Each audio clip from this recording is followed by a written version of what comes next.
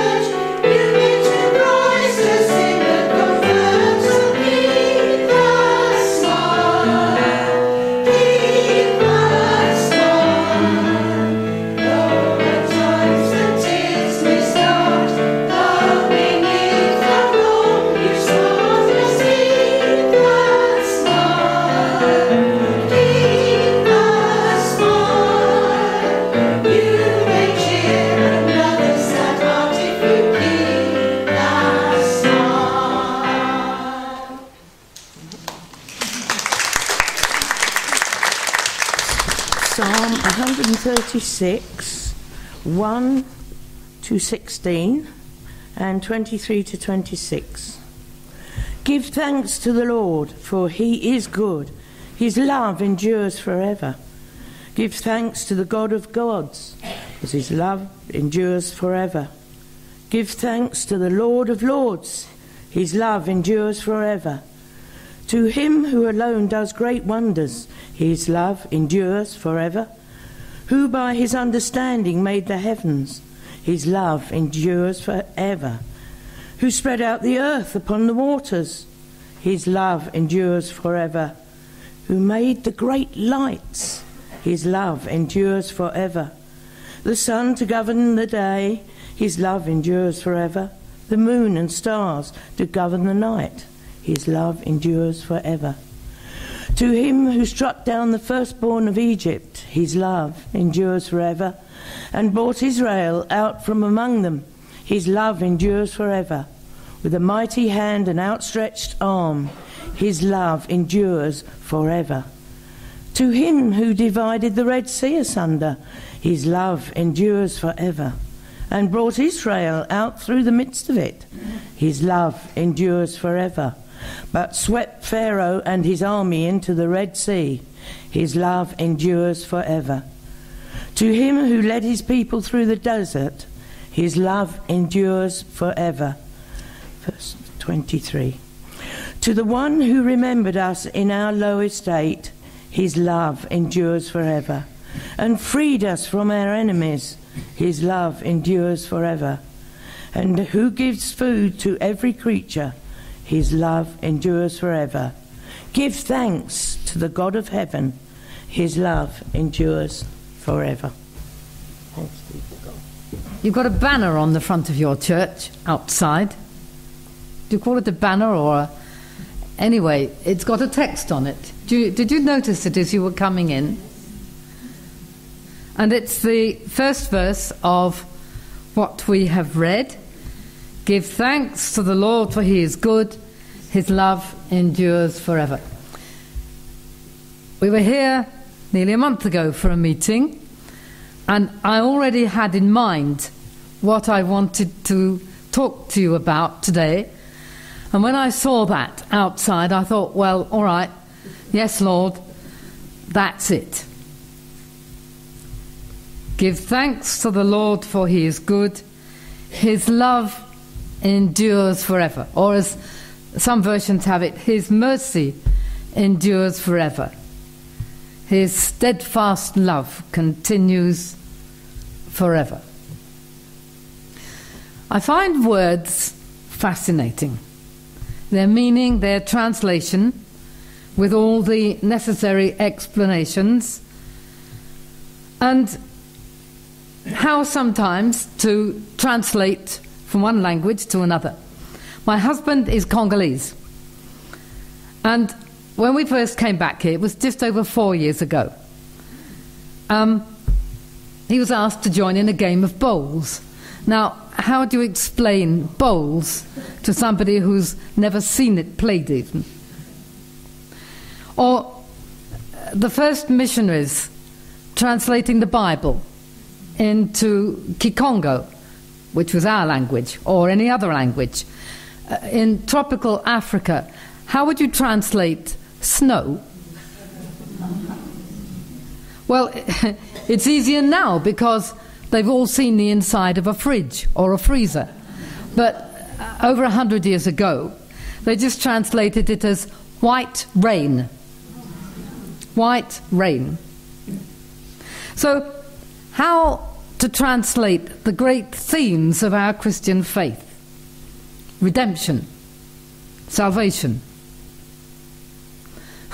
Ideas like angels. And in the language where I was, that was a, a little bit of a problem because the word for angels and the word for trousers were almost identical. so we had early missionary talking about God's trousers.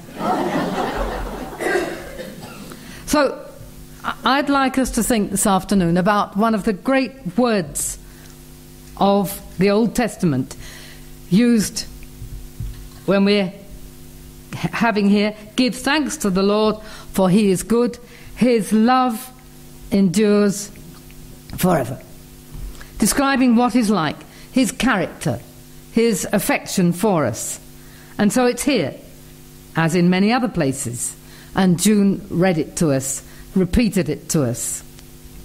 Love, yes, more than that. It's a very special word that was used with many overtones involving mercy, goodness, great kindness, with overtones of faithfulness, loyalty, grace, the love which never fails and is totally reliable. The Hebrew word chesed. Powerful, compassionate, unchangeable.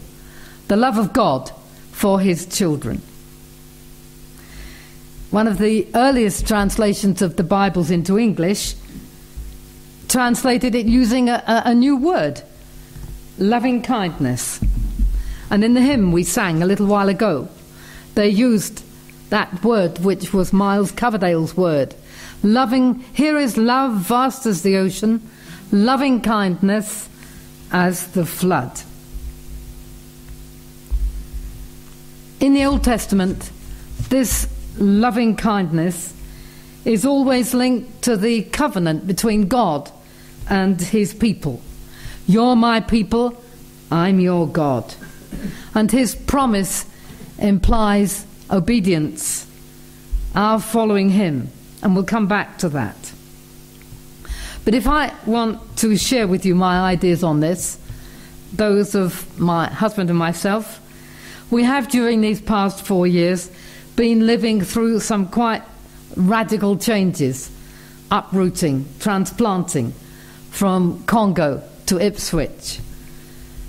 And I think we could invent our own version of Psalm 136 with our examples of how God has led us, opened doors, perform, performed series of little and big miracles, so that we can bear witness that His loving kindness continues forever. So, what are the characteristics of this loving kindness of God, this love? Well, I think first we must say that it's very sure, constant, never failing, unchangeable, and totally reliable. It endures forever. Not like our love, which is fickle, moody, hot then cold. No. God says, promises, and repeats, I will never leave you nor forsake you. And what was true for the children of Israel then is true for us now. We can be fickle, faint hearted, weak, downright disobedient. True? Doubting, unbelieving, unfaithful, but not God. I will never leave you. And he persistently refuses to wash his hands of us. His, us, we who are his rebellious, capricious, fickle, disobedient people. You, me. Do you know the story of the prophet, the prophet Hosea and his wife, his wife Gomer?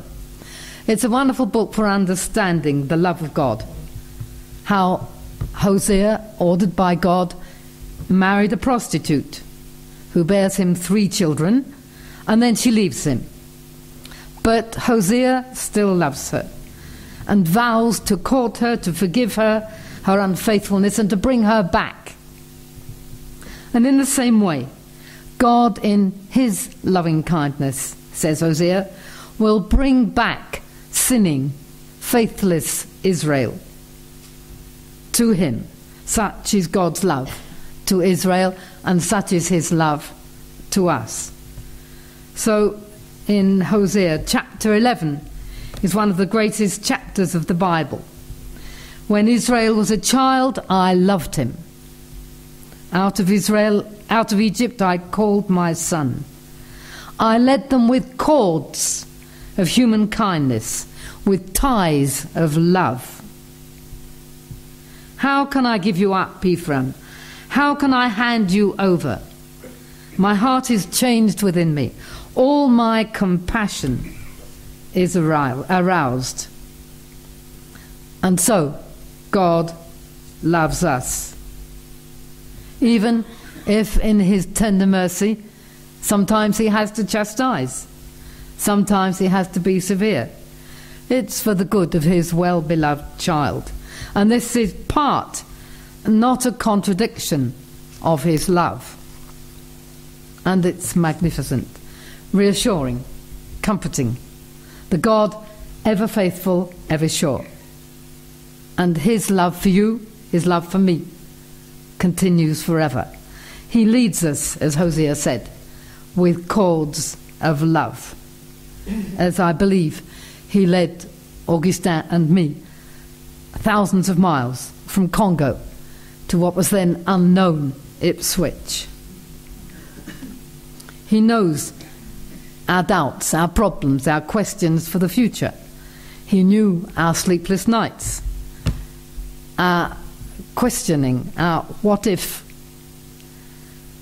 But I think we all need the assurance of this never ceasing love. I know I do. And we can then say, Thy hand, O Lord, has guided. So the love of God then is sure, constant, it never fails, it's forever. For his mercy shall endure, ever faithful, ever sure. And then the love of God is free. We don't earn it. It's unmerited. It's for all of us. It's not, not at all like my co op share card. You got a co op share card? I found out about them here. Um, that promises me a reward and a dividend if I stay loyal and if I'm a good customer. But God doesn't operate on a points system. And this was the liberating discovery of our Protestant ancestors that we can never earn our salvation, nor buy our passage to eternal life. We don't merit it, and we never will. No, it doesn't depend on how good we are, because basically we're not. The prophet Hosea loved his faithless wife because he loved her. And God loves us because he loves us and has chosen to do so. It's as simple and as daft as that. So there's no way we can earn his favour. God's love is free and he loves us all, even though we don't deserve it take comfort in that. And we know it in practice. Because you don't only love your child or your grandchild when he's innocently and peacefully asleep in bed. You love him all the time. Uh, did you ever follow the BBC One television series on Outnumbered? two parents and three absolutely impossible children. Outrageous questions, always squabbling among themselves. Yet somehow, Pete, their father, comes over as loving them, caring, correcting, forgiving, all the time. And if this is true in our own human relationships, how much more is it true of the way God loves us. Yes, God is a just God, and He hates sin, though not the sinner. But God's passion for justice is only surpassed by His love and His mercy, forgiveness, His unmerited free love for us. He loves us because He loves us. It's free, it's unmerited. And then his love leads to his mercy, compassion, forgiveness. Did you follow? It seems to have been on and off in the news ever since we've been back in England.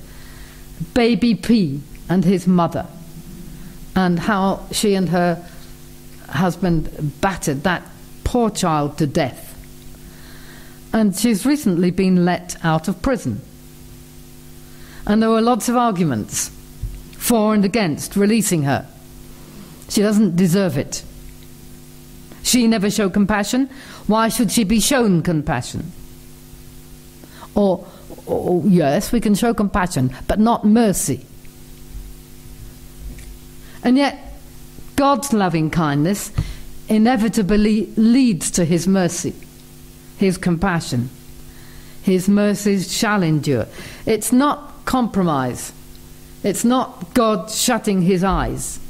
God knows us intimately, the good and the bad, through and through. Our inmost thoughts, which we would wish to hide, and maybe we do hide from everybody else, but not from Him. We can imitate the ostrich and try to hide our heads in the sand. Or, like Jonah, we can try to run away. But we can't run away from God. He knows us. And the fact that He knows us so perfectly isn't an occasion of flight from Him. No, it's the liberating assurance and relief of resting in God. It's peace.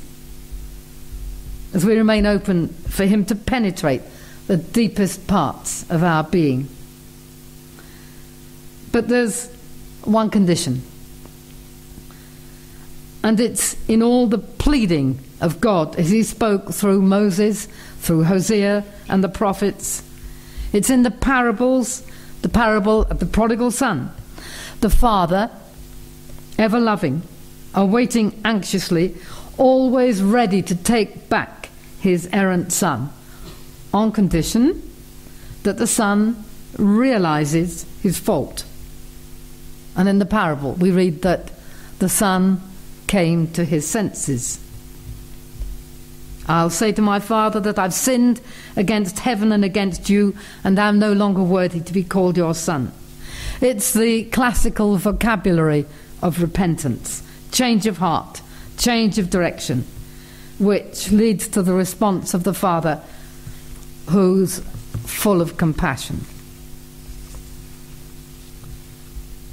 So here's the consequence of our response to God's loving kindness. He asks for our loyalty, our faithfulness. In the words of Hosea, God says, I want loving kindness, not sacrifice. I don't want your empty ritual. I want your love. I don't want your offerings. I want you to know me and to love me. Now, I'm not saying put your church offering back in your pocket. Just that offering is a result of love, not to curry love and favour. One last picture back to Congo of this loving kindness. So, the early missionaries who wanted to know how to translate this word, loving kindness.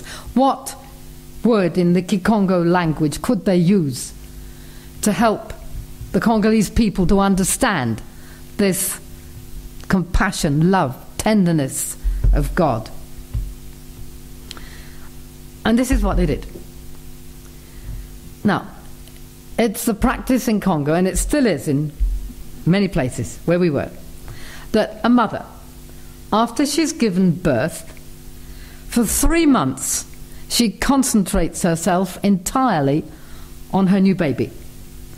She stays in the house or in the mud hut. She doesn't go to her fields. She doesn't work.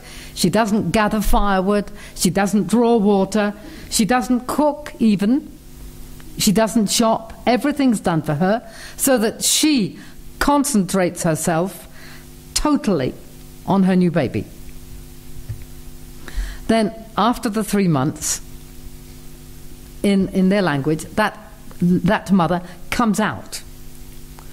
And her husband will go to the pastor, if she's a Christian, and say, My wife is coming out. Please may the baby, now in our Baptist circles, please may the baby be dedicated, be blessed.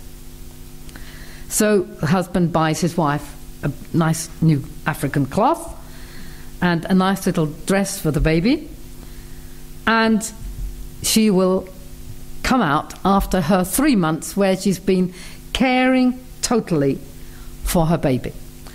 And this state of caring totally for the baby, loving totally that baby, I'm going to give you a Kikongo word. The word is walakazi. Walakazi. And when they wanted to find a word to talk about how God loves us totally, they used this word, walakazi.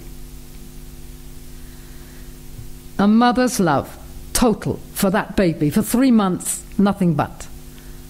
Nothing but love. And that's how God loves us. So there we are. And we take heart and we can even go further because we're the people of the new covenant, to use the Bible language, sealed in the blood of Jesus Christ. For God so loved the world that he gave his only begotten Son. And as Paul says, Jesus was obedient unto death, even death on a cross. And Paul introduces these great verses by saying, Your attitude should be the same as that of Jesus Christ. So we live by this gracious mercy and loving kindness of God, forgiven, overwhelmed, guided, kept by His loving kindness, His steadfast love. So that if our response is meaningful, then our model must be the Good Samaritan, not the Pharisee, not the Levite or if you like, in modern language, not the pastor, not the deacon, but the Good Samaritan. Because it was he who showed compassion. The loving kindness of our Heavenly Father. Yes, we've received this loving kindness of God. The love that never fails, that sure, that's constant. The love that's free unmerited, and it's for us all, even though we haven't earned it. The love that's merciful, compassionate, and forgiving. And Jesus says to us, as he said in that parable, Go and do likewise.